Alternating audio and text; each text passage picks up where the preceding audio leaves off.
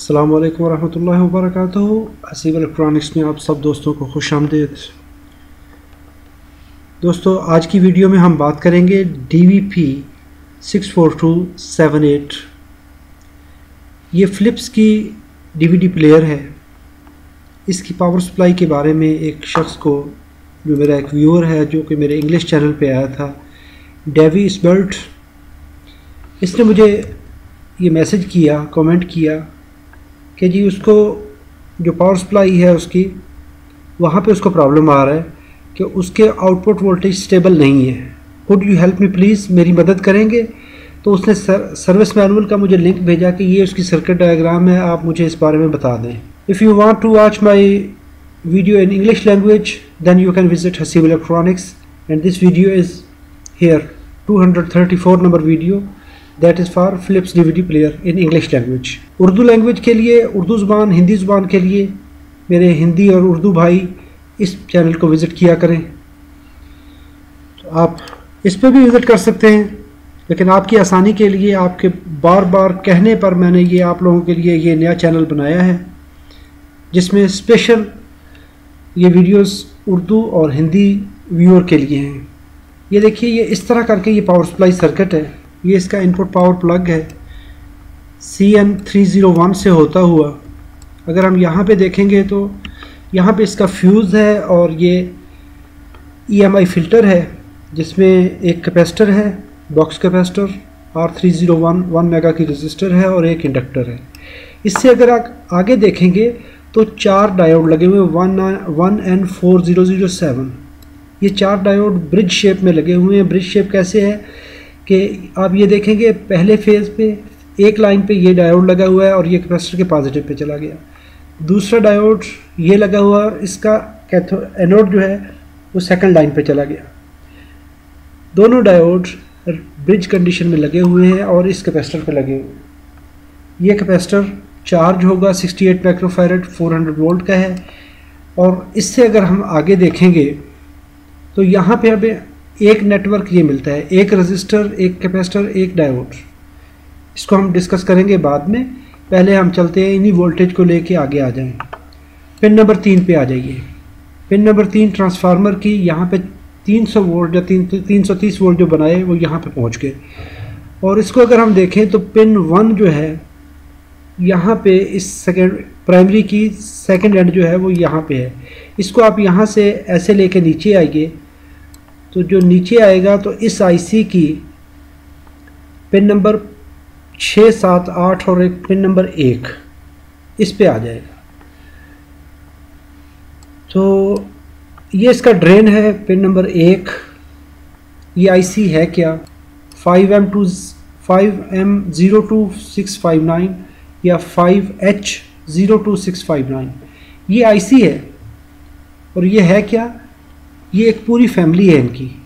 265 M zero two six five L zero two six five H M L L H M L H M L ये मुख्तलिफ़ किस्म के इसका set है एक। Zero two eight zero zero two eight zero H और M series में। ये क्या है कि इसका फ्रीक्वेंसी का डिफरेंस होगा। और डिफरेंट फ्रीक्वेंसी रेंज पे काम करती हैं और इनका पैकेज स्टाइल ये है। फाइव पेन में एक एक पिन इसकी पाँच नंबर पिन सॉफ्ट स्टार्ट वाली पिन ज़्यादा होती है। अगर पिन पहली कंडीशन को देखेंगे तो एक नंबर ग्राउंड है और टू ड्रेन है थ्री वीसीसी है और चार नंबर फीडबैक है।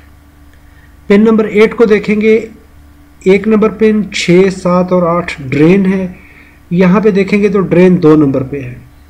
वीसीसी तीन नंबर पे है वीसीसी तीन नंबर पे है, चार नंबर फीडबैक है, चार नंबर फीडबैक है। पिन नंबर पाँच इसकी नॉट कनेक्टेड है। और इसमें भी उसी तरह है, इसमें सिर्फ़ पिन नंबर फाइव जो है, ये चार नंबर ये फोर पिन आईसी है, ये फाइव पिन आईसी है, इसमें सॉफ्ट स्टार्ट जो है वो ज़्यादा है। अगर हम यहाँ पे देखेंगे, इसकी डाटा शीट इसकी ड्राइंग देखेंगे तो ये इसकी ड्रेन पिन है। ये इसकी आउटपुट पिन है जो कि कनेक्ट होती है ट्रांसफार्मर की प्राइमरी से। ये एंड ग्राउंड हो जाता है वीसीसी वोल्टेज ये वीसीसी वोल्टेज इन आईसीज के थोड़े बहुत डिफरेंट होते हैं। और यहाँ पे सॉफ्ट स्टार्ट है। सॉफ्ट स्टार्ट वो कहता है कि ज़ीरो टू सिक्स फाइव अगर आईसी इस्तेमाल करेंगे तो उसमें सॉफ्ट स्टार्ट सिग्नल मिलेगा। फीडबैक सिग्नल है।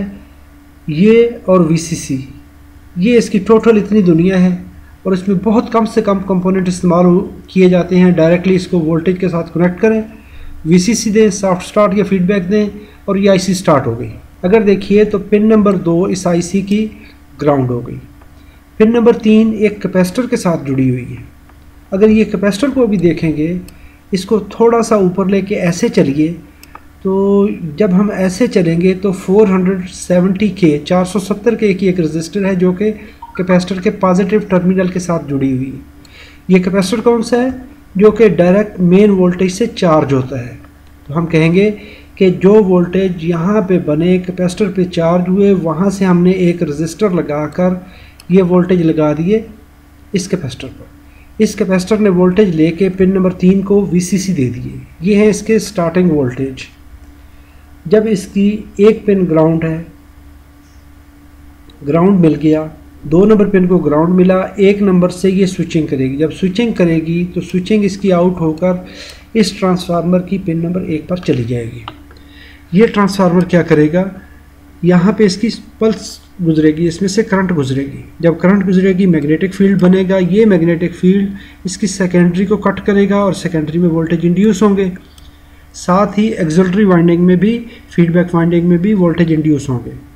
जब एक पल्स फ़र्स्ट पल्स गुजर गई तो जब इसका पल्स का ऑफ़ पीरियड आएगा तो उस ऑफ़ पीरियड में डेड पीरियड में ये इसका जो मैग्नेटिक फ़ील्ड था, ये इसको दोबारा से कट करेगा। रिवर्स मैग्नेटिक फ़ील्ड या कोलैप्स होने वाला मैग्नेटिक फ़ील्ड जब करंट गुजरती है तो मैग्नेटिक फ़ील्ड फ़ील्ड फैलता है। जब वहाँ से करंट रिमूव कर ली जाएगी पिन नंबर एक से करंट रिमूव कर ली जाएगी तो इसका मैग्नेटिक फ़ील्ड सुकड़ेगा। जब वो क्लोज होगा, सुकड़ेगा तो वो रिवर्स मैग्नेटिक फ़ील्ड की वजह से रिवर्स वोल्टेज जनरेट करेगा इस कॉयल के अंदर। उन रिवर्स मैग्नेटिक फ़ील्ड को उन रिवर्स वोल्टेज को ज़ीरो करना लाजमी होता है। अगर हम इस डायोड को देखें तो नॉर्मली ये क्या है? यहाँ पॉजिटिव है पॉजिटिव इसके कैथोड पे है तो ये डायोड रिवर्स बायस है। लेकिन जब ये रिवर्स वोल्टेज आएँगे तो उस वक्त इस एंड पे पॉजिटिव हो जाएँगे और ये एंड उस नस्बत से नेगेटिव हो जाता है। तो ये डायोड फॉरवर्ड बायस होके इसमें बनने वाले रिवर्स वोल्टेज को ज़ीरो कर देगा। और ये ट्रांसफार्मर नेक्स्ट पल्स के लिए रेडी हो जाएगा। अभी हमने पल्स इसमें से गुजारी। भी सारी ये ज़ुबानी कलामी बातें आप कहेंगे, कैसी बातें कर रहा है ये। जब ये पल्स यहाँ से गुजरेगी, इसमें से प्राइमरी में से करंट गुजरेगी तो सेकेंडरी में यहाँ पे वोल्टेज इंड्यूस होंगे। जब ये वोल्टेज इस जगह पे इंड्यूस हुए तो इसको ज़रा आगे लेके चलिए। एक डायोड ये आ गया, एक डायोड ये आ गया, ये मुख्तलिफ़ किस्म के इसके सेक्शन हैं। अगर ये आखिरी वाली वाइंडिंग देखें, सात और आठ पहले इसको ख़त्म कर लें तो ये सीधे एसी वोल्ट लेके तो connector three C L three zero three है, इसके ऊपर ये वोल्टेज एसी वोल्टेज आउट कर देगा। उसमें लिखा हुआ है कि for R B five zero one तो ये three point five volt A C जो है, यहाँ से चले जाएँगे, इसका रेक्टिफायर आगे होगा। सेकंड इसके बाद देखिए तो ये कॉयल आ जाती है इसकी, ये सेकेंडरी वाइंडिंग आ जाती है। ये 24 वोल्ट और 12 वोल्ट की वाइंडिंग होती है इसमें। जो पिन नंबर नाइन है, यहाँ पे देखिए तो आपको ये रेक्टिफायर लगा।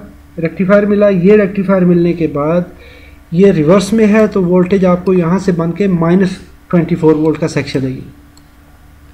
ये देखें तो ये डायोड रिवर्स में लगता है H E one zero four एक अम्पेयर चार सौ वोल्ट इसकी रेटिंग है। तो ये रिवर्स कंडीशन में लगा हुआ है। ये आगे साथ इसके 5.6 वोल्ट का जीनर है और 12 वोल्ट का जीनर है। और यहाँ से ये वोल्टेज बनने के बाद 24 वोल्ट आपको minus twenty volt pin number तीन पे मिलेंगे। पिन नंबर चार इस कनेक्टर की ग्राउंड है। अभी आ जाइए यहाँ पर। ये वाइंडिंग हमने 11 नंबर पिन को देखें तो एक डायोड लगा हुआ है और साथ में एक कैपेसिटर है। कैपेसिटर इनमें सब में लगे हुए हैं।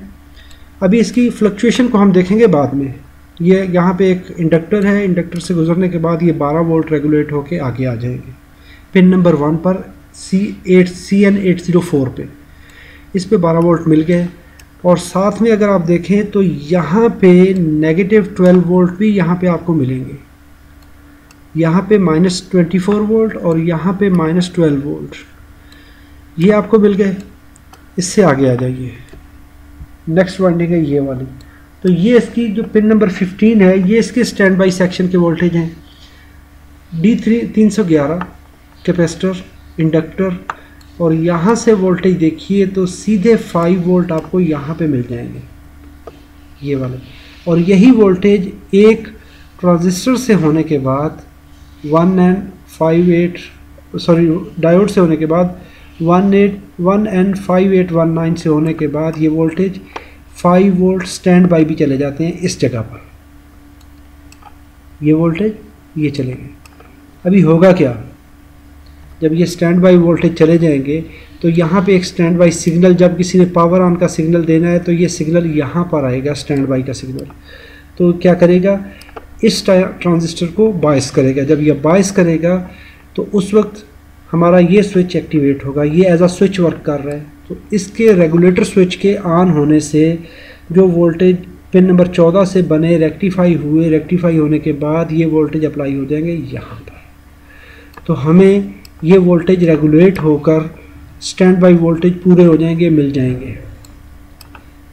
अभी आ जाइए इसकी फीडबैक पर। यही वोल्टेज जो 5 वोल्ट स्टैंड बाई हमने बनाए थे, इन्हीं स्टैंड बाई वोल्टेज को इसने यहाँ पे चेक किया। एक कैपेसिटर लगाया 100 वो माइक्रोफेरेट सोलह वोल्ट वोल्ट का है। इसको ये देखिए तो यहाँ पर इसकी, इस जगह पे दो रजिस्टर आ जाती हैं। आर तीन सौ बारह, आर तीन सौ तेरह।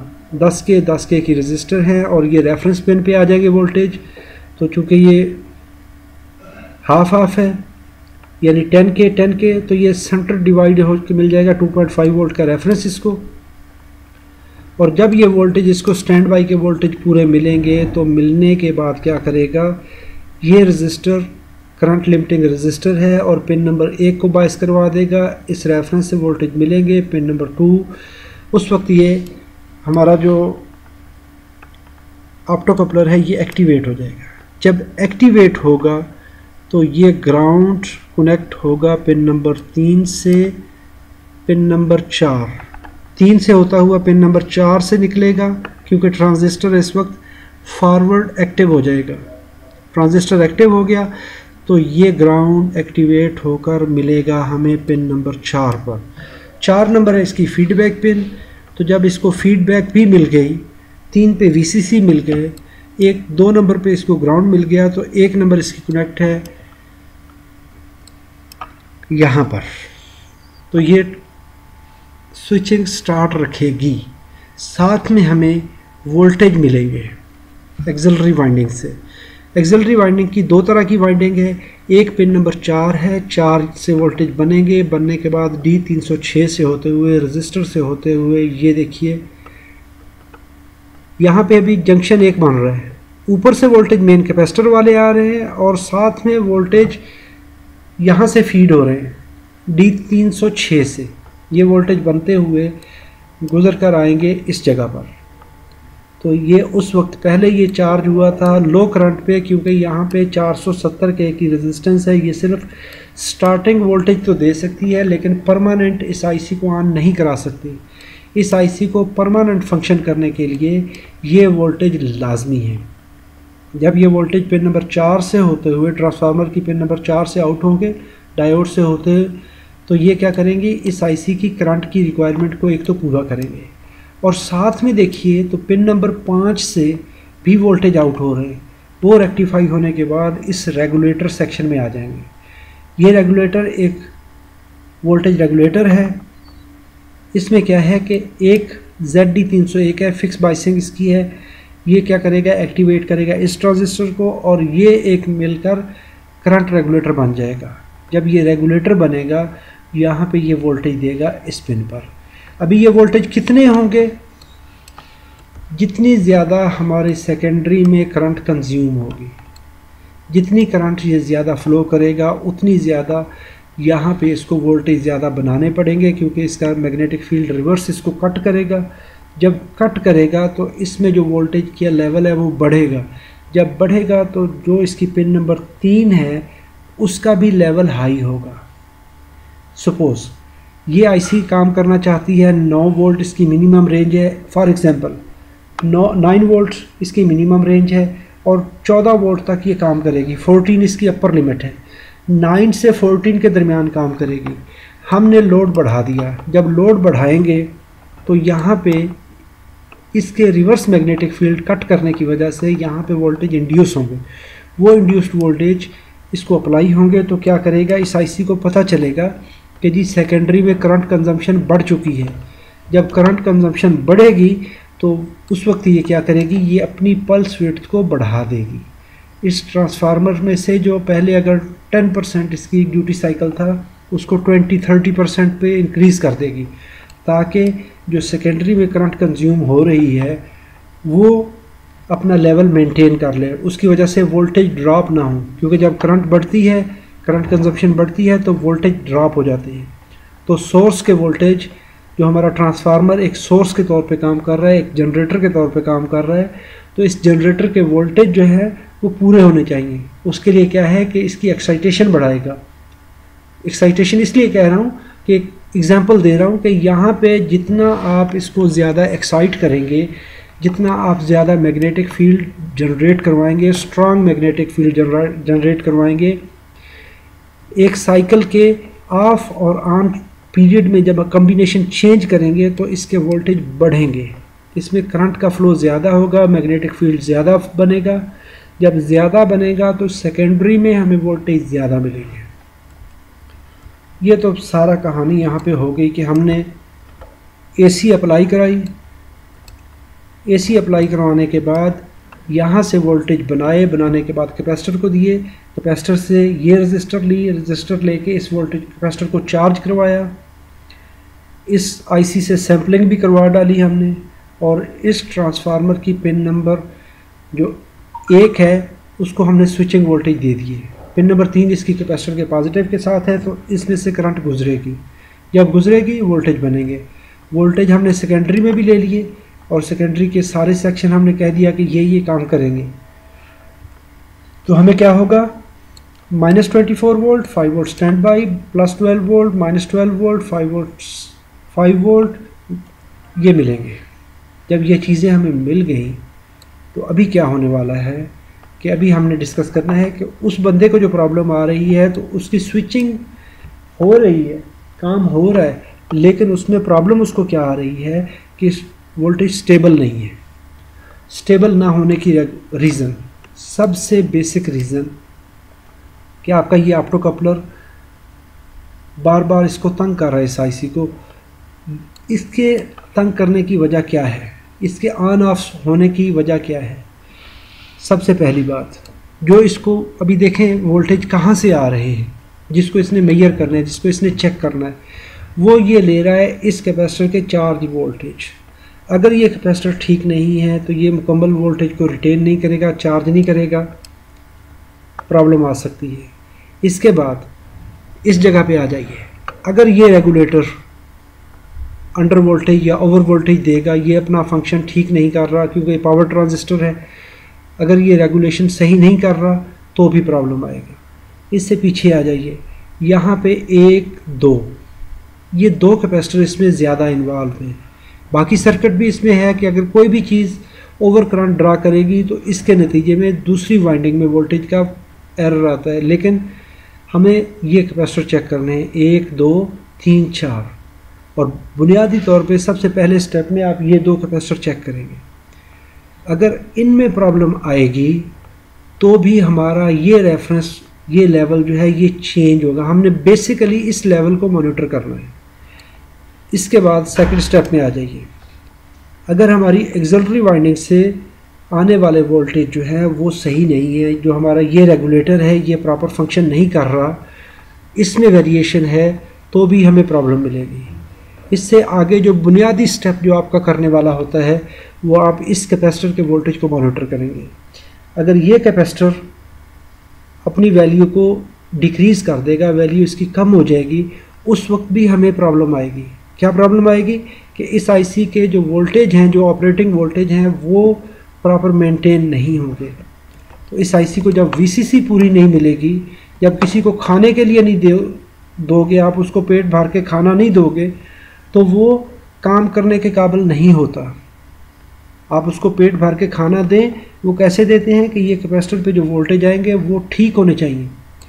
अच्छा ये वोल्टेज हम कहाँ से लेते हैं? अभी इससे पीछे आ जाए। हमारे पास एक कैपेसिटर ये लगा हुआ है।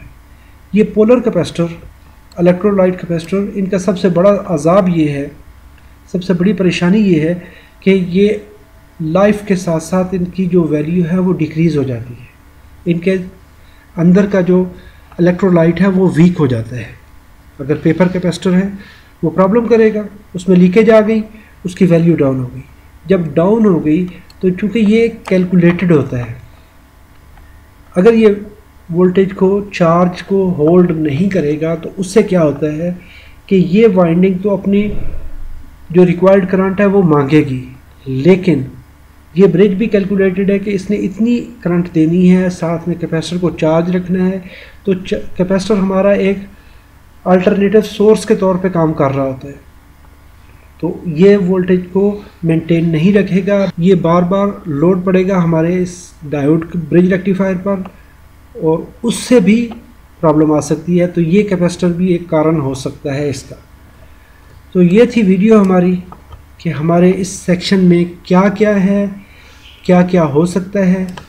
इसकी ये रीज़न्स हैं अप्रॉक्सीमेटली इसके अलावा भी इसबाब होते हैं, लेकिन जो मेन रीज़न्स हैं, एक कैपेसिटर दो कैपेसिटर ये कैपेसिटर और ये ट्रांजिस्टर, अगर ये चीज़ें इनमें से कोई एक कंपोनेंट प्रॉब्लम करेगा तो हमें आउटपुट स्टेबलाइज्ड नहीं मिलेगी, रेगुलेटेड नहीं मिलेगी। उम्मीद करता हूँ ये वीडियो आपको अच्छी लगी। अगर अच्छी लगी, जी चाहे तो सब्सक्राइब कर लीजिए, जी चाहे तो लाइक कीजिए। आपकी मर्ज़ी, अपना ढेर सारा ख्याल रखिएगा, अपनी दुआओं में याद रखिएगा। अस्सलाम वालेकुम रहमतुल्लाहि व बरकातहू